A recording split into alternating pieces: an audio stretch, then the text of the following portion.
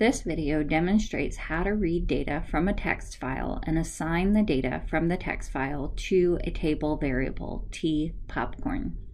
Now that we've created variables and we know the underlying layout of our data file, we need to tell the bot to find the raw data in our text file. So the first action or command that we need to have our bot perform is we need it to open the text file.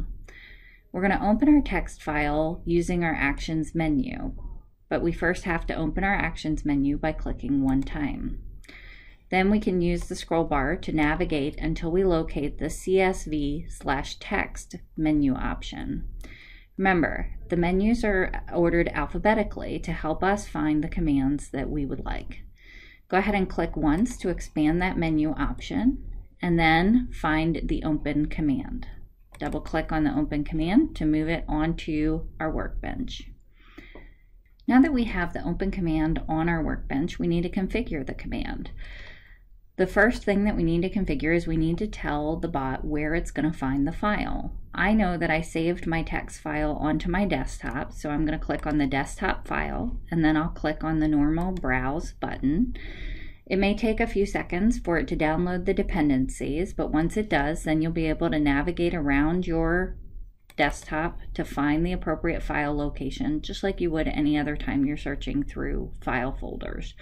I happen to know that I saved mine on CPOP, and then I went ahead and saved it under the CPOP folder. So I click it once to select it, and then click Open.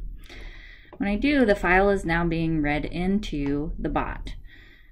We know that this particular text file does not have a header, so we're not going to select the box that says contains header. And we also happen to know that our underlying file is comma delimited. So we can go ahead and leave the radio button for comma as our delimiter checked. It's usually good practice to go ahead and trim both your leading and trailing spaces since computer programs tend to have a little bit of trouble when it comes to spaces. Typically they'll read it as they'll read the spaces as though it's something there instead of the way that we read it with nothing there. And then we want to go ahead and change the encoding to ANSI since our underlying code for our text file is ANSI. Once we've gone ahead and configured the tool, then we can go ahead and click on Apply. And now we can see that we're done with our configuration. If you need to go back and adjust it later, then just clicking once again will bring back the options that you had originally to configure the command. Now that we've told our bot to open the text file, we can tell our bot to go ahead and read the data in the text file and assign the data to a table variable.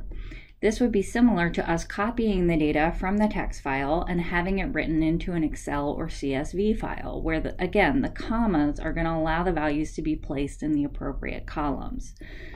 While we could do this directly with the sample data set, we cannot copy and paste the data from the large data set without losing information. Since the number of rows in the large data set, 1.6 million, exceed the number of rows of data that can be written into an Excel spreadsheet. To program your bot to read the data, go ahead and locate the read command, again under the CSV text heading, and double click to move it onto your workbench. If this was not the right place for it or somehow it, it ended up pasting before your open command, then you could go ahead and reorder it by dragging and clicking or releasing once you see that dashed line. But it is the second step that we'd like it to do, so we'll go ahead and leave it there. In this case, we can see that we need to assign the value to a variable. And it says it needs a variable type of table. Well, we didn't create a table variable yet. So what we can do as we're programming our bot is we can create the table variable by clicking on the magic wand to the right of that box and saying create a variable. Just like when we did our variables at the beginning, we have the option to name it, but we will not change the type because this is going to be a table type and that's the only type that the read file is going to allow us to do. So we're going to type in T and then popcorn. We don't need to check any other configurations, so we can then select the Create and Select button. Once we're done configuring our tool, we have to again hit the apply button. Now that we've told our bot to read the data from the text file and store the data in our table variable t popcorn, we can go ahead and close the text file. Closing the text file is not necessary, but it could save memory space as we run future functions.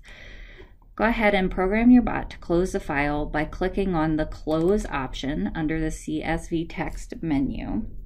There's no need to configure this command unless you want to add a session name, in which case you should add a session name to all of your steps. So all we need to do is end up clicking on the Save button.